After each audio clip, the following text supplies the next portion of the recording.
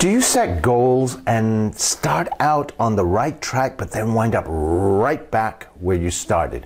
Maybe you were trying to lose weight and you started out, but then wound up back at the same weight where you started or more.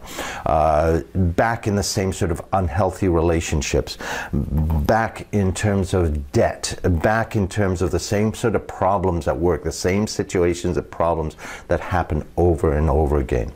Well, today I want to show you exactly why that happens and how you can start to shift out of that to really get some real results.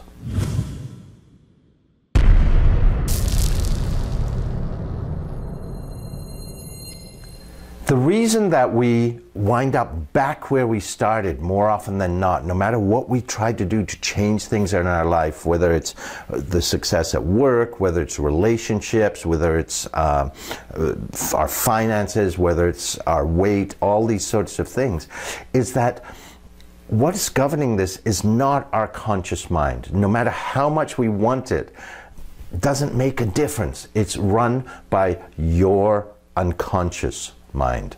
And what you have is it's almost like a GPS in your brain, an internal GPS of where you should be with all of these characteristics.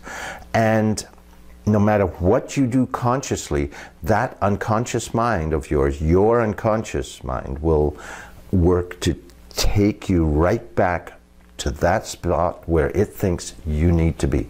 Now think of it as, you know, a really simple example is how your body maintains your temperature, okay? So if you are in a place that's too hot, what do you do? You sweat to cool down, to lower your body temperature. If you're in a place where, you're, where it's too cold, what happens? You shiver and you get goosebumps to raise your temperature. You don't do this consciously. Your body knows where your temperature needs to be. And in exactly the same way, your unconscious mind has got a programmed GPS of where you should be in terms of weight, in terms of relationships, whether it's among friends, in the workplace, or with a significant other, uh, the type of people you're with, whether it's friends or, or colleagues, or the type of person you have a relationship with. Um, what your relationship with money is. You might wind up having more money over the time of your life, but you're, you're just as much in debt no matter how much you have, or you always have that sense of not having enough. With weight, it's an, again a very common thing that happens is uh, people, you know, our society is all about diets, right? Because everyone's wanting to lose weight, but they wind up where they where they started, and that's because that's what your GPS is saying. And until you change that, nothing you do outside will work because your conscious effort is like the tiniest little movement in this finger compared to your whole body barreling ahead. Okay, so what you need to do instead of fighting your unconscious, you need to work with it. You need to be able to uncover, map what that default setting is, and then delete it. And so, how do you map it? Well, you look through your life. Who are the people that keep popping up, not necessarily the same person, but the type of person. What are the conflicts that keep happening? What is, again, weight's a very simple one. What is the weight you keep going back to, or the, the overweight? Um, finances, what is it that happens over and over? You start looking at your life and you start mapping those patterns. And then once you have that, there's um, a whole range of ways that you can use to to delete that. I mean, that's what my whole uh, reset your personal GPS program is about.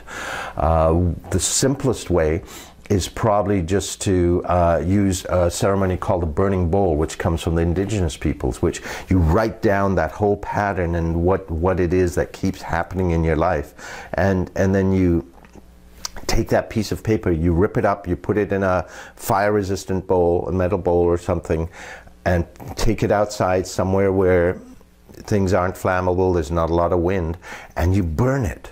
And then once the ashes have cooled down, you can bury them and let it go. And there's a really cathartic letting go. That will work for a lot of people. Some others need uh, some more intense uh, processes to be able to delete that because it is in your unconscious. It's not a conscious thing at all. And only then can you program new goals. So invest a bit of time in mapping out what your default setting is, and then you're miles ahead of breaking free of it. If you want to discover what the seven biggest mistakes people make are when they're goal setting and visioning, make sure that you uh, check out the link that's uh, on this blog and you can get a free uh, white paper on that